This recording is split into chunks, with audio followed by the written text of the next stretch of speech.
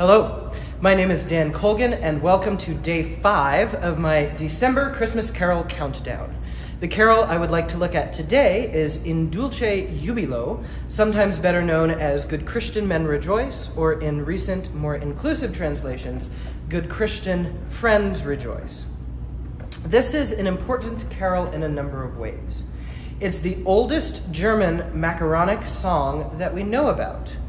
Now, macaronic is a big, fancy, scary word that simply means mixed language. The original here was in a German dialect from the area of Mainz and Worms, and it was mixed with Latin.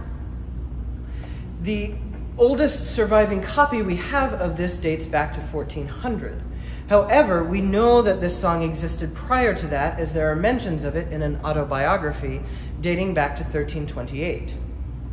Now, in an 1853 transcription of this, Thomas Helmore, who's the same guy who transcribed O Come, O Come Emmanuel, made an error and added two notes in the middle of the second phrase. So, that's the first phrase.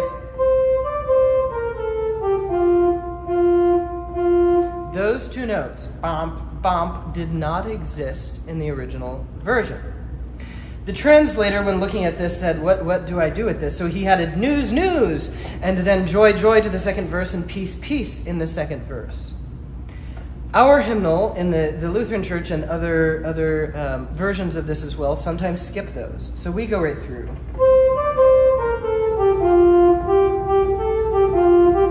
Which is true to the original version. So this tune, like yesterday's carol, is, is likely a dance. It's very bouncy, it's very exuberant. It's again of unknown origin, but it's been used in many places in many ways. It was a favorite of J.S. Bach, who wrote a cantata around it and a number of organ works, and other classical composers such as Liszt as well. Some of them would change the meter of this, perhaps to make it feel a little dance, a little less dance-like, and they, what they did is they emphasized the first note rather than the second. So as opposed to, they would go,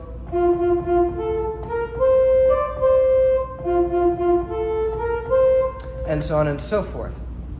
So regardless of the format and how it is, how it was, was presented here, this is another carol that has really stood the test of time. Before I play it, though, I would like to give you a literal translation of the original text here.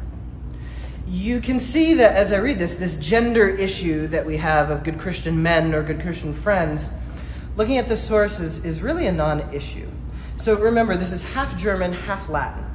So it starts in dulce jubilo, which means in sweet rejoicing.